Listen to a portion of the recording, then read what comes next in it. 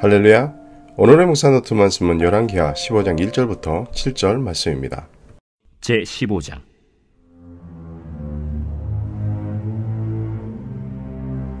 이스라엘 왕 여로보암 제 27년에 유다 왕 아마샤의 아들 아사랴가 왕이 되니 그가 왕이 될 때 나이가 16세라. 예루살렘에서 52년간 다스리니라. 그의 어머니의 이름은 여골리야라. 예루살렘 사람이더라 아사랴가 그의 아버지 아마샤의 모든 행위대로 여호와 보시기에 정직히 행하였으나 오직 산당은 제거하지 아니하였으므로 백성이 여전히 그 산당에서 제사를 드리며 분양하였고 여호와께서 왕을 치셨으므로 그가 죽는 날까지 나병 환자가 되어 별궁에 거하고 왕자 요담이 왕궁을 다스리며 그 땅의 백성을 치리하였더라. 아사랴의 남은 사적과 행한 모든 일은 유다 왕 역대 지략에 기록되지 아니하였느냐. 아사랴가 그의 조상들과 함께 잠에 다윗 성에 그의 조상들과 함께 장사되고 그의 아들 요담이 대신하여 왕이 되니라.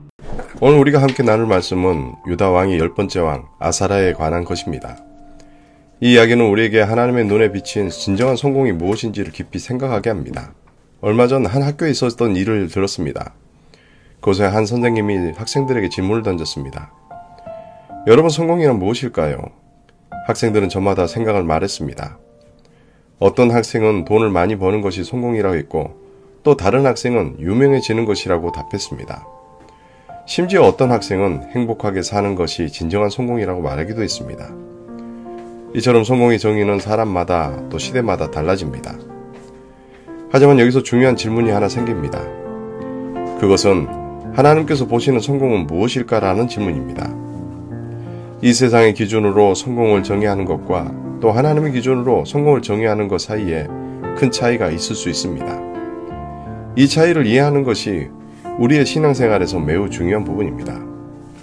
이런 맥락에서 오늘 우리가 살펴볼 열왕기하 15장 1절부터 7절 말씀은 우리에게 큰 교훈을 줍니다. 유다의 열 번째 왕 아사라는 오랜 죄의 기간 동안 많은 업적을 이루었습니다. 하지만 성경은 그의 많은 업적보다는 하나님께서 그에게 나병 환자로 만드신 사건에 더 큰 비중을 두고 있습니다. 이는 세상의 기준으로 보았을 때 눈부신 성공을 이룬 왕의 삶에서 우리가 놓치기 쉬운 하나님의 교훈이 숨겨져 있음을 암시합니다. 오늘 우리는 이 말씀을 통해 하나님의 눈에 비친 진정한 성공이 무엇인지 함께 탐색해 보려고 합니다. 우리가 살아가는 이 세상에서 하나님께서 기뻐하신 삶이란 과연 무엇일까요? 이 질문에 대한 답을 찾는 것이 오늘 우리가 함께 나눌 본문의 주제입니다. 그러므로 지금 이 순간 우리의 마음과 귀를 열고 또 하나님의 말씀 앞에 겸손히 나아가 이 말씀을 깊이 묵상하고 또 하나님의 음성을 듣기를 기도합니다. 본문의 아사레 왕은 역사적으로 주목할 만한 인물이었습니다. 그는 무려 52년 동안 유다를 다스렸고 또 이는 당시에는 매우 긴 제2기간이었습니다. 아사레 왕의 통치 기간 동안 유다는 여러모로 크게 발전했습니다. 그는 용토를 확장하여 국가의 영향력을 높였고 또 국방을 강화시켜 나라의 안보를 확립시켰습니다. 더불어 경제 발전을 장려하여 유다의 번영을 기여했습니다. 이러한 업적들은 그가 훌륭한 행정가였음을 증명합니다. 그의 지도를 가해 유다는 평안과 번영의 시기를 경험합니다. 하지만 놀랍게도 성경은 이러한 눈부시 업적들보다 하나님께서 그를 나병 환자로 만드신 사건에 더 큰 비중을 두고 있다는 것입니다. 이 사실은 우리에게 중요한 메시지를 전달합니다. 아사랴 왕의 세속적인 성공과 업적이 하나님의 눈에 어떻게 비치는지 성경의 관점을 보여주는 것입니다. 이러한 기도는 성경이 우리에게 무엇을 말하는 것일까요? 아사레 왕의 삶에서 우리는 하나님의 뜻과 인간의 업적 사이에 긴장을 볼 수 있습니다. 세상적인 성공과 또 하나님의 기준 사이에는 때로는 극적인 차이가 있음을 이 사건을 통해 분명히 알게 합니다. 아사레 왕의 경우 그의 많은 성공과 업적에도 불구하고 하나님은 그의 영적인 실패에 더 큰 비중을 두셨습니다. 여기서 우리는 성경에 전하는 중요한 교훈을 발견할 수 있습니다. 그것은 인간의 업적과 성공이 하나님 앞에서 어떻게 평가되는지에 대한 것입니다. 하나님의 눈에는 외형적인 성공보다 마음의 순종과 또 영적인 겸손이 더 중요합니다. 아살의 왕의 삶을 통해 우리는 세상의 성공이 하나님 앞에서 어떻게 다르게 평가될 수 있는지 깊이 생각해 보게 됩니다.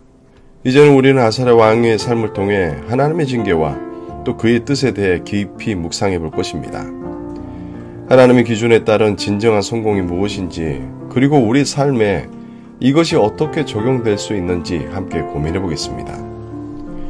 우리가 이제 주목해야 할 것은 왜 아사랴 왕이 심판을 받았는지에 대한 부분입니다.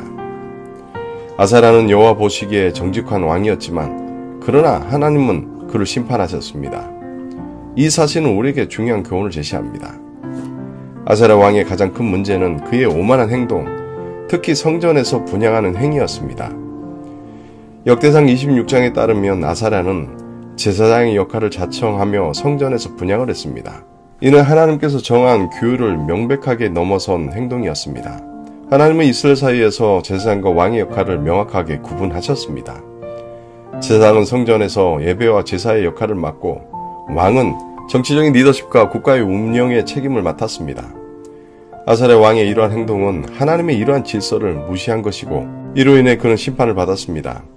이 사건에서 우리가 배울 수 있는 교훈은 무엇입니까? 첫째 아사레 왕의 삶은 하나님 앞에서 겸손함이 얼마나 중요한지를 보여줍니다.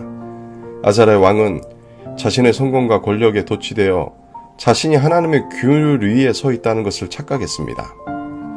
이런 오만은 하나님 앞에서 심각한 죄가 됩니다. 둘째, 이 사건은 하나님께서 정한 질서와 규율을 존중하는 것이 얼마나 중요한지를 가르쳐 줍니다. 하나님은 이스라엘에게 특별한 질서와 규율을 정하셨습니다. 이것은 하나님의 지혜와 의도가 반영된 것입니다. 아사르 왕의 행동은 이러한 하나님의 질서와 또 지혜에 대한 불순종입니다. 셋째, 이 이야기는 하나님 앞에서 올바른 역할의 인식이 중요하다는 것을 깨워줍니다. 각자의 주어진 역할과 책임이 분명히 있습니다. 아사레 왕은 왕으로서 역할을 넘어서 제사장의 역할을 맡으려 했고 또 이는 하나님의 계획과 질서에 대한 불순종이었습니다.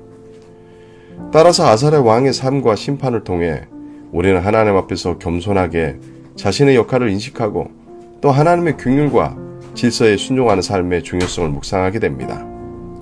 우리 각자의 삶에서 하나님께서 우리에게 주신 역할과 또 책임을 성실하게 수행하며 또 하나님의 뜻에 순종하는 삶을 살아가야 합니다. 아사레 왕의 삶을 통해 우리가 얻은 교훈은 깊고도 중요합니다. 그의 이야기는 우리에게 성공과 또 형통 속에서도 하나님 앞에서 겸손과 순종이 얼마나 중요한지를 강조합니다.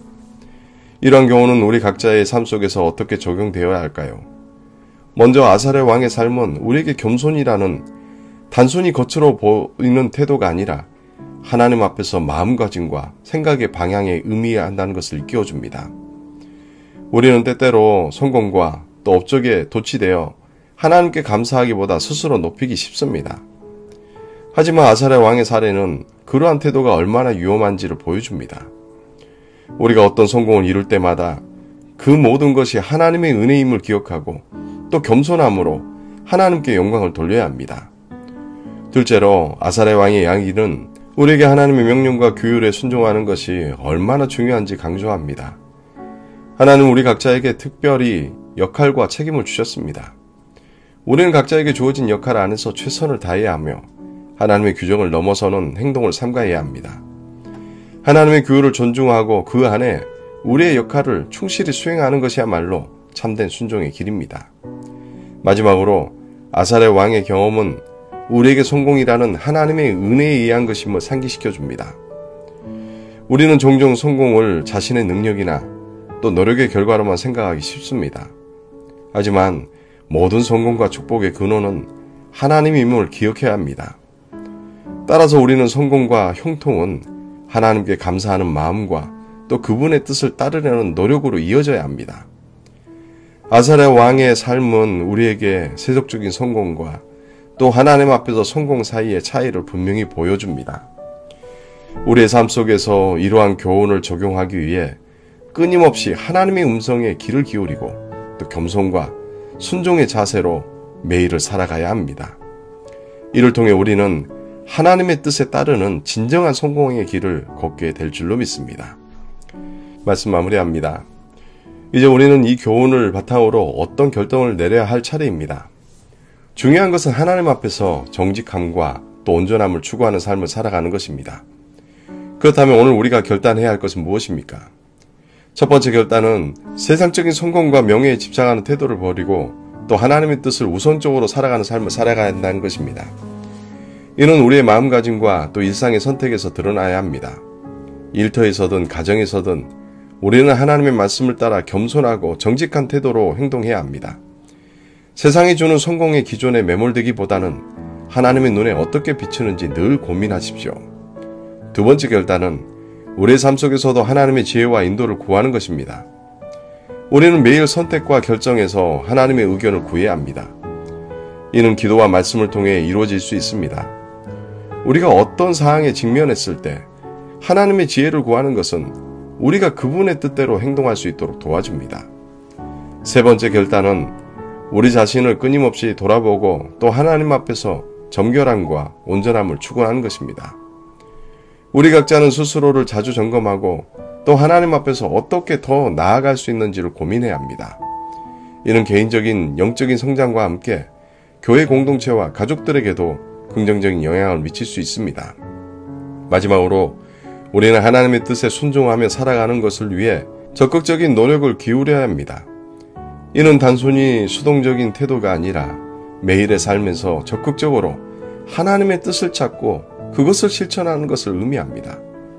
사랑하는 성도 여러분, 이러한 결단들을 통해 우리 각자는 하나님 앞에서 더 정결하고 온전한 삶을 살아가게 될 것입니다.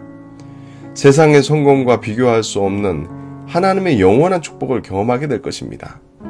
오늘 이 자리에서 우리 모두 그러한 결단을 내리고 하나님의 은혜 안에서 그 결단을 실천하는 삶을 살아가길 주님의 이름으로 축원합니다. 함께 기도하시겠습니다. 하늘에 계신 우리 아버지 하나님, 오늘 우리가 유다왕 아사라의 삶을 통해 세상적인 성공보다 하나님 앞에서 겸손과 순종의 중요성을 배우게 됩니다. 하나님, 이 시간 우리 모두의 마음을 여시고 우리가 매일의 삶 속에서 하나님의 뜻을 따라 살아갈 수 있도록 인도하여 주시옵소서. 하나님, 우리가 세상의 성공과 명예에 집착하는 대신 하나님의 말씀에 귀 기울이며 하나님의 은혜와 지혜를 구하는 삶을 살게 하시고 우리의 모든 성공과 업적이 하나님으로부터 온 것임을 늘 기억하며 모든 영광을 하나님께 돌리는 겸손한 마음을 가지게 하여 주시옵소서. 오늘 우리가 결단한 것들이 우리의 삶 속에 실천되게 하시고 우리가 매일 하나님의 뜻에 순종하는 삶을 살아갈 수 있도록 힘과 용기를 주시옵소서.